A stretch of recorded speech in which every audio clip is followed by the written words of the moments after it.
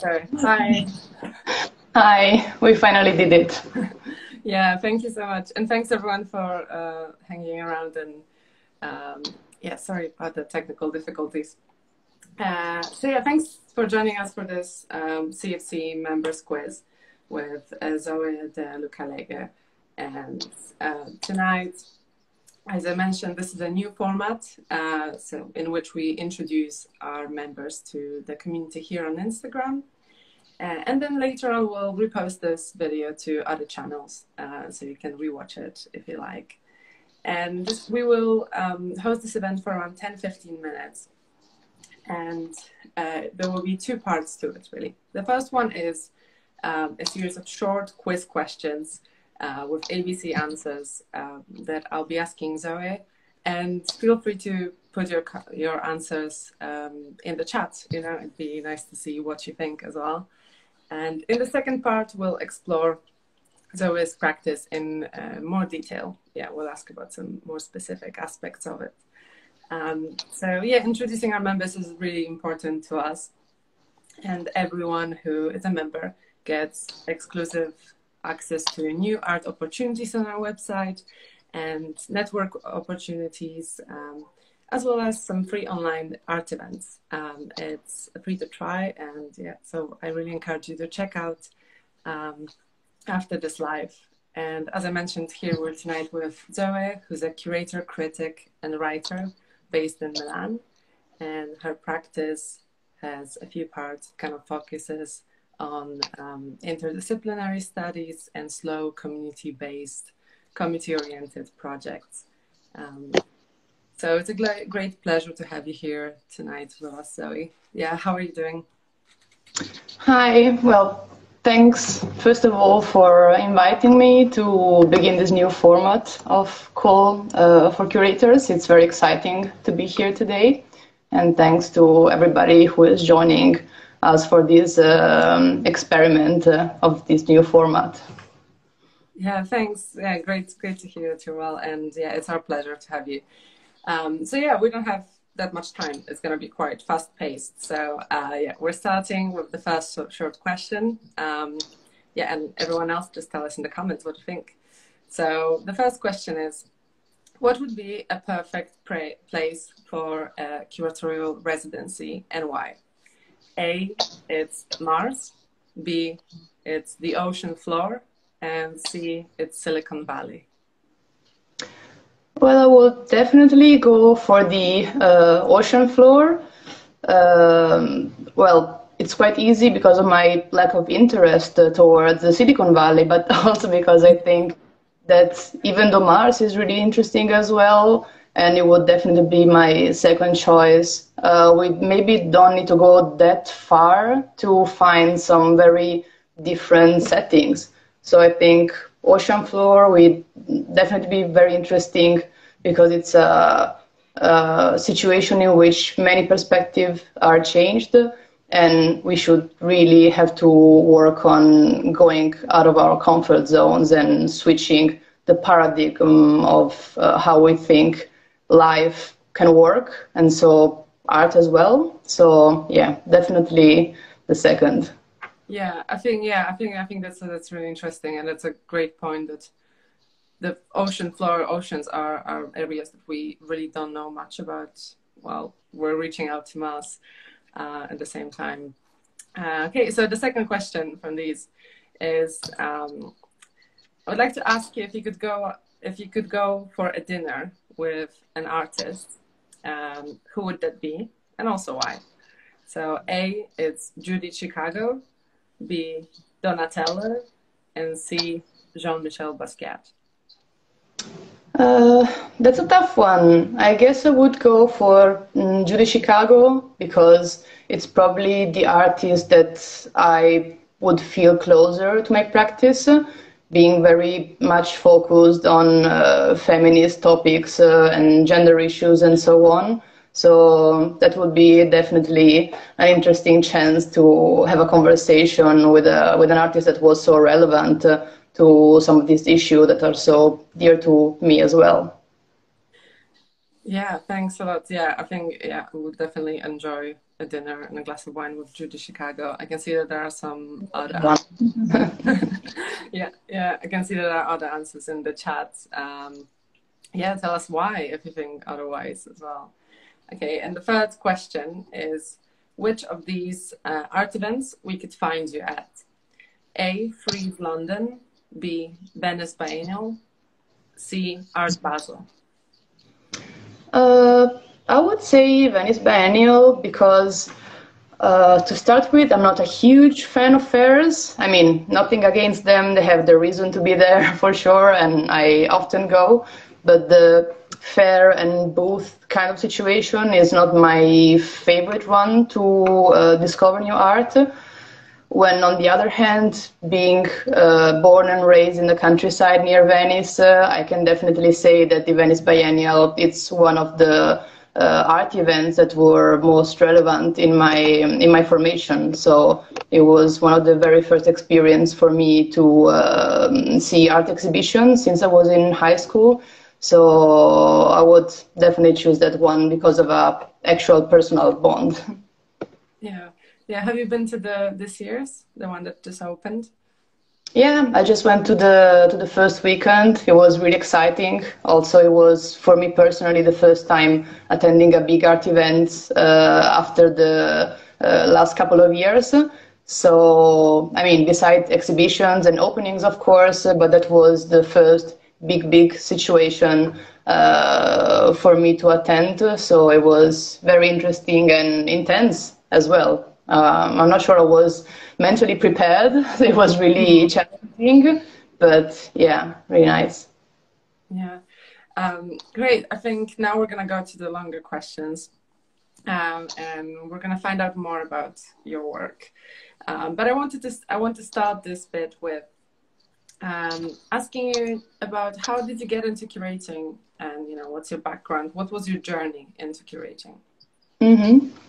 So I think my first approach to curating surely happened within the experience of Diorama Editions. Diorama Editions is a editorial project I started in my first year of college with a group of friends and colleagues.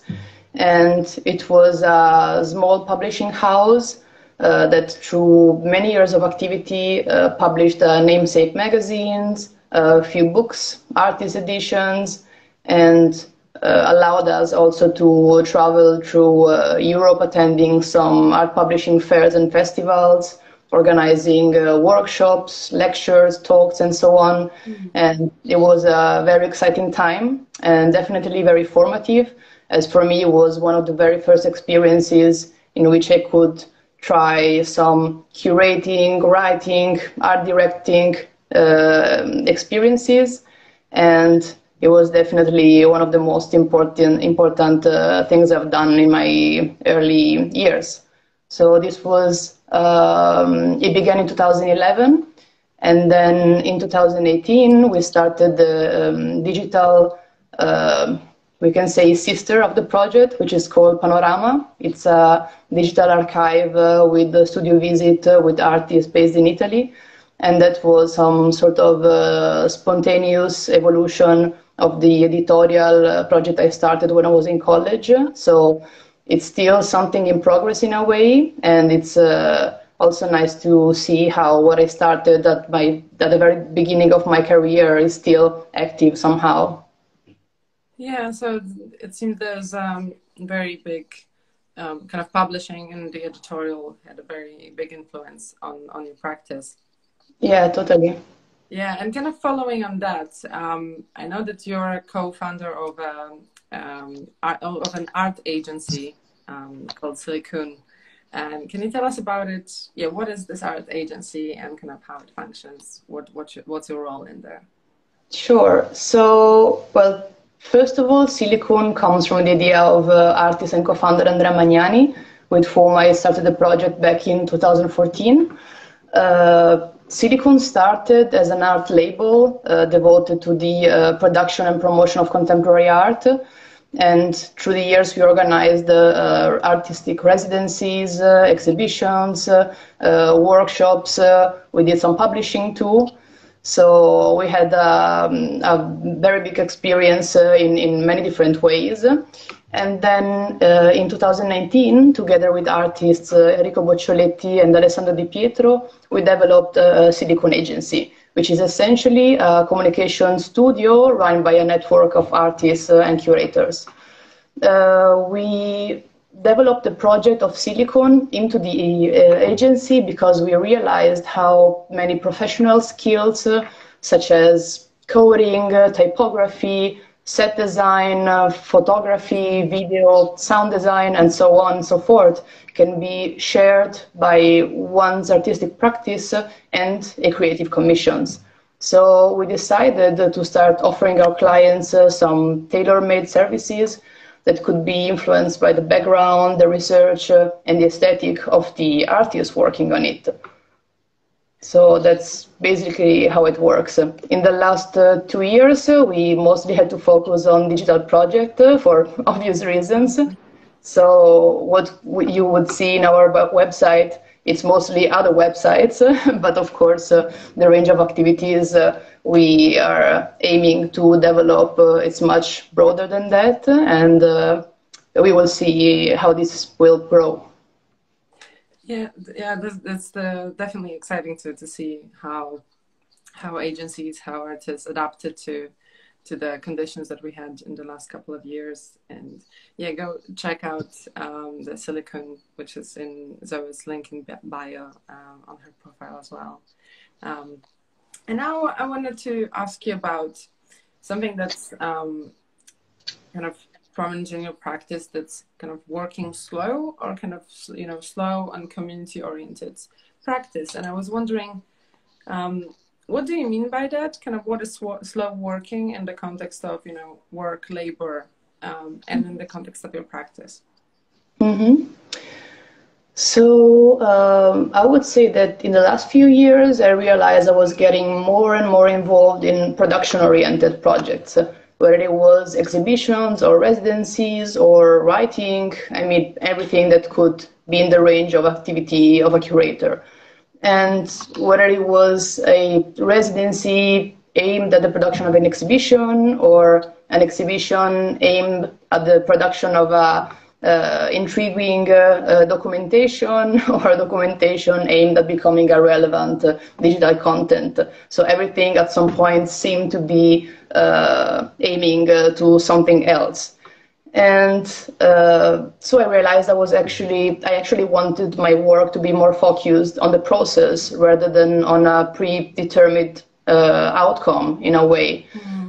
And I think some good examples of this attitude can definitely be All Siliqoon Residency to start, where every time we invited an international group of artists uh, to spend some time in the decentralized area of Italy, producing artworks uh, with the local networks of artisans, and therefore doing something that would have been innovative for them, but for the artisans as well. So really slowing down a little bit, uh, getting to know the territory, uh, getting to experiment with local people, and doing something that would have been an actual innovative experience for them in the first place.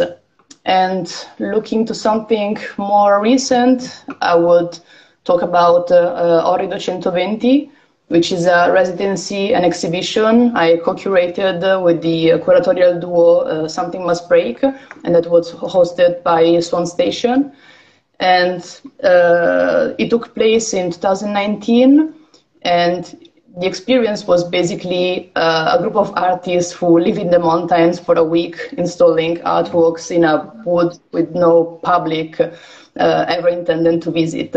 so it was really uh, experience focused, and the outcome was a sort of, a, uh, of an exhibition that was neither physical or digital, and it was just a completely different uh, material. So I would say these are two pretty self-explanatory examples of what I mean by working slow. Yeah, yeah, I think I think that's it's you know it's very important to um, kind of what you were saying made me you know think about the kind of different temporalities that you um, you can experience while working as a curator or working in in the culture um, cultural field in general with work you know oftentimes being uh, precarious and very fast paced, uh, and yeah, a lot of kind of Yeah. out- outcome oriented, kind of like you said. Um, so yeah, kind of following on that. Um, yeah, I want to ask you, what was the last exhibition or project um, performance, you know, that you've seen that made an an impression on you, or kind of you know left a, and kind of something to made you think about something you know important. I think I would talk about the very last one I saw, uh, which was a solo show by artist Michele Gabriele, which is funny because it's actually in one of the pictures you chose for the carousel you made to uh, promote uh, this Instagram live. Um, it's a solo show called uh, The Vernal Age of Mirror Mirrors. It's curated by Duo Treti Galaxie, and it just ended at the Nota Museum in Florence and uh, you can definitely see some documentation in the Instagram uh, channels of the artist and the curators. And it was really interesting because it's uh, basically a show uh, about the investigation of on perception and in a way in the anthropocentric way of seeing.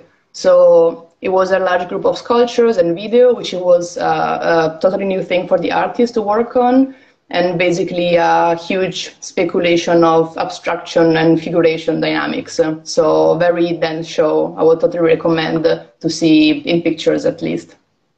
Yeah, yeah, totally. I'll we'll link them up uh, or tag them when we repost this live, so so you can uh, check out yourself later. And I think we're kind of nearing towards towards the end, and I have one final question, um, Mhm. which is, um, what are you currently working on, or kind of uh, working towards? You know, are either working on any new projects. Can you share that? Sure. Uh, so currently I'm working on a duo show by artists uh, Pulaka and Ali Hunter, uh, which is basically the sequel of their show Penetralia, which was exhibited at Peach in Rotterdam back in 2018.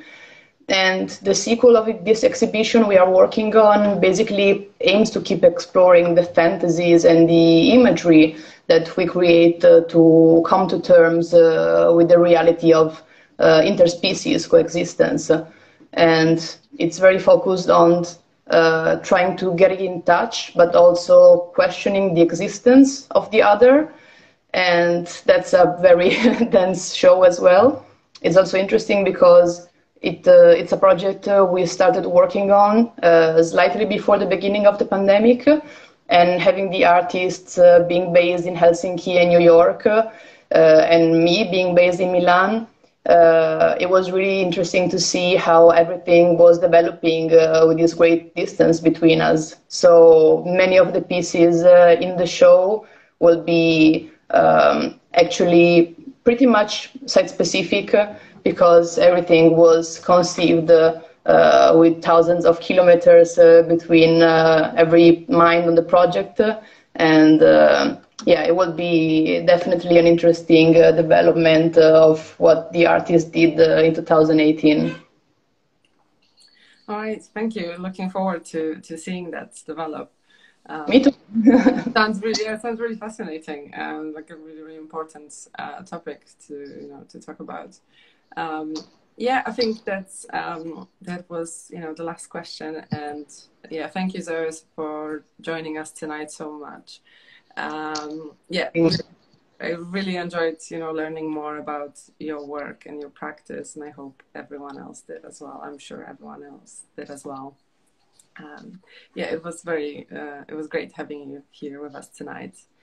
And yeah, we're gonna host these um, CFC member quizzes um, every Monday uh, at 6 p.m. CST, um, and we'll be announcing the upcoming one very shortly, in a couple of days. Uh, so yeah, just keep a uh, keep an eye out for the profile, and check out Zoe's uh, Instagram and follow her. Uh, she's tagged in the uh, pinned comment. So yeah, thank you very much once again, Zoe. Yeah, really a pleasure. Can't wait to see who the other guests will be. So yeah, I will be staying in touch for sure. Great, thank you so much, and thank you everyone else who joined. And yeah, have a great evening, day, wherever you are. And yeah, we'll see you next week.